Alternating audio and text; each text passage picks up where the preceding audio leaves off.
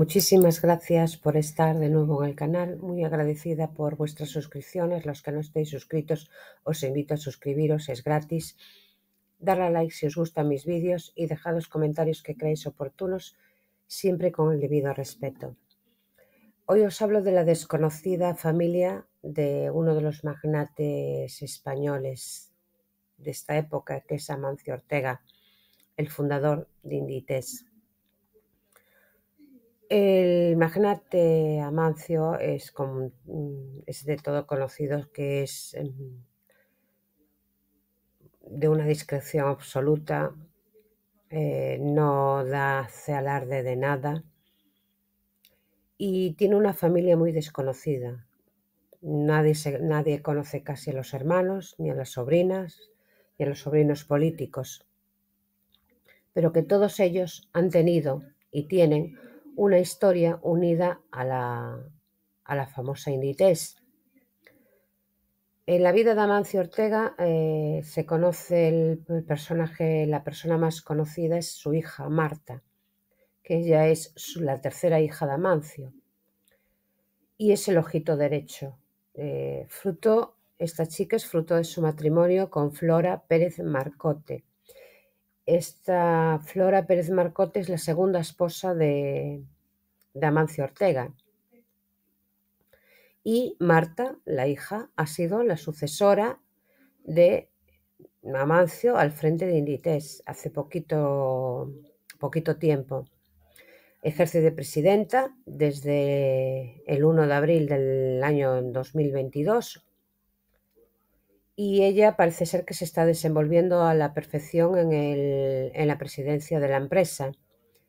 Eh, las cifras la acompañan, los resultados la acompañan y su padre en todo momento se siente súper orgulloso de esta hija que ha empezado en la empresa desde abajo, desde los cimientos. Es decir, ella trabajó en tiendas, sabe lo que es eh, el proceso de fabricación y desde abajo.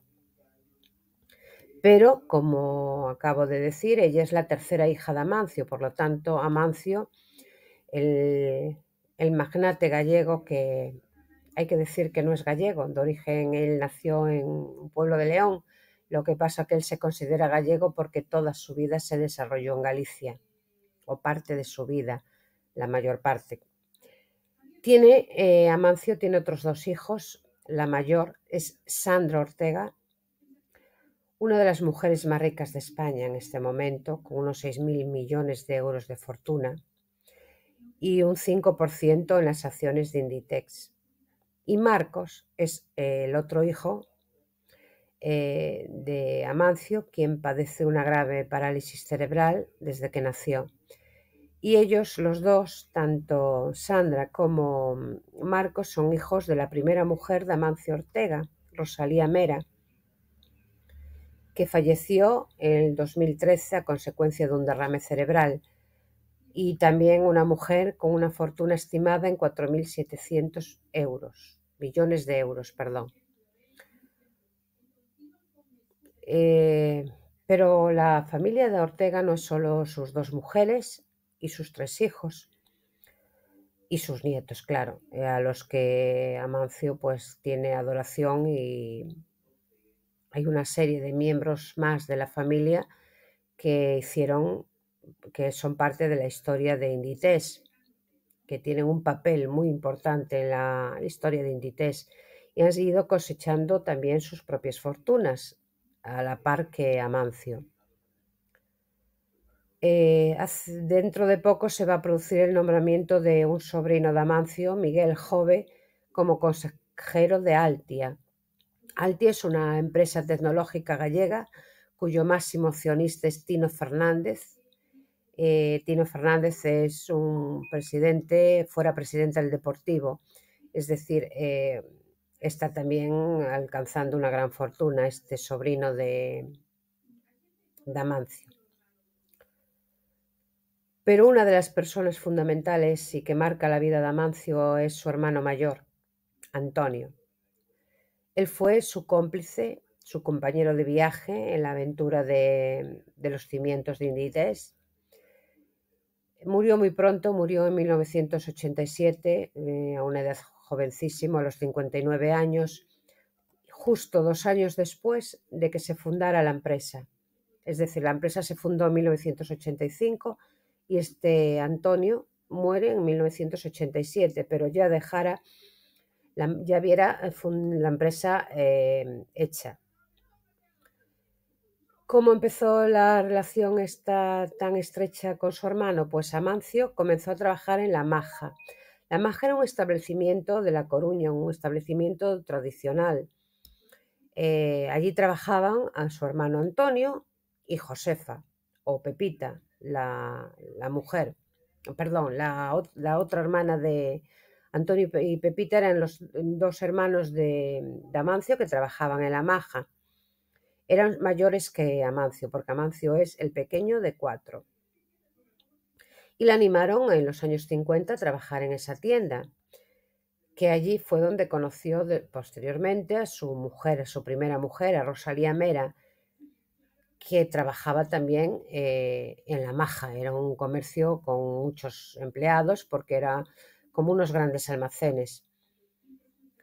Pero eh, Antonio tenía una inquietud, su hermano Antonio, y él también, em, de producir prendas a bajo precio y, era una idea que tenían en mente, cómo se podía hacer para producir prendas a bajo coste y luego venderlas.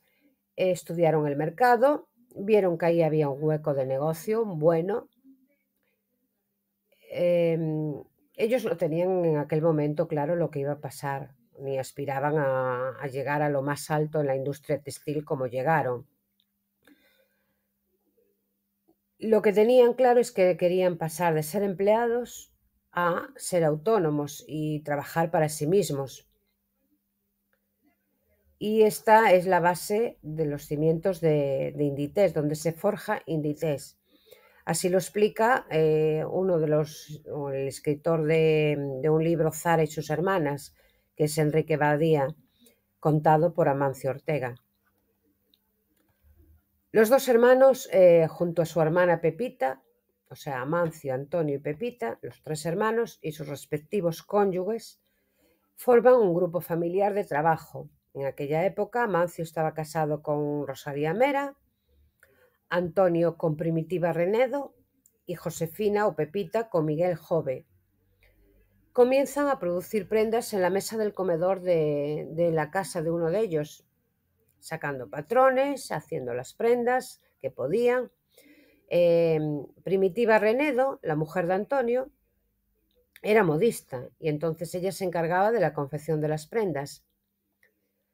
Eh, en un primer momento empezaron a confeccionar o intentaban, eh, quisieron confeccionar cucos de bebé, pero eh, pronto desecharon la idea porque empezaron a hacer batas acolchadas, las famosas batas de Boitiné, de Guatiné, como se conocen en el largo vulgar. Las primeras ventas pues se las vendieron a los almacenes donde ellos habían trabajado, en la maja, que allí estaban aún trabajando, aún no dejaran sus trabajos en aquel momento, les va muy bien y entonces ellos eh, intentan ah, hacer, eh, comprar grandes cantidades de tela. Entonces viajan a Cataluña, Antonio Amancio, a las fábricas textiles y consiguen en Terrassa crea, eh, que uno de los proveedores les adelante las telas, luego se las pagarían cuando tuvieran las ventas y ahí es donde comienza el verdadero imperio de Inditex, es decir, en 1963, hace 60 años, es, donde realmente empieza a, hacer, eh, a, crearse Inditex. Esos son los primeros pasos de Inditex.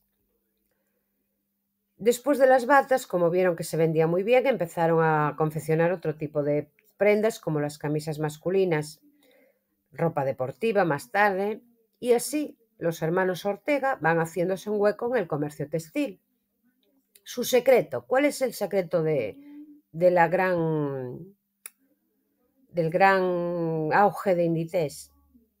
Pues los precios ofrecían unos precios mucho más bajos que la competencia y les iban funcionando los precios. Eh, y se dedicaron plenamente al proyecto, dejaron ya su trabajo definitivo en la maja. En 1931 constituyen GOA, la marca GOA, que era el nombre acrónico, ah, perdón, acrónimo de mm, invertido de las iniciales de Amancio Antonio Ortega Gaona. En este proyecto participaban los tres hermanos, pero Amancio siempre como, socio mayoritario, porque había puesto pues, más dinero, se supone. Ahí constituyen su primera fábrica y dan el pistoletazo de salida a la industria textil más importante de nuestro país actualmente. Ahí, eh, al construir la fábrica, pues ya eh, pues, eh, se veía que el negocio iba funcionando, ¿no? Poco a poco. Su hermana Pepita era la, que llevaba las finanzas en aquel momento porque su papel fue importantísima en la empresa familiar. Cuando se creó la empresa, en 1985, fue nombrada consejera y ejerció de, estos, eh, de consejera hasta que tuvo que dimitir por haber cumplido la edad máxima que permite el cargo. Cuentan quienes la conocían que es de una persona muy austera, es de una austeridad enfermiza, es decir, llevaba las finanzas a rajatabla y no se gastaba un duro más de lo normal.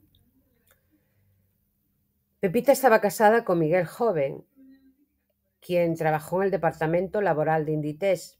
Falleció este señor, el cuñado de Amancio, en el 2012, dejando a su hermana viuda, eh, con tres hijos, María José, quien está casada con Manuel Romay, hijo del político Romay Becaría, que fue un ministro de Aznar, que trabajaba como administrador de varias empresas del grupo textil, y Miguel, que también fue empleado de Inditex, pero ahora va a ser eh, consejero de Altia.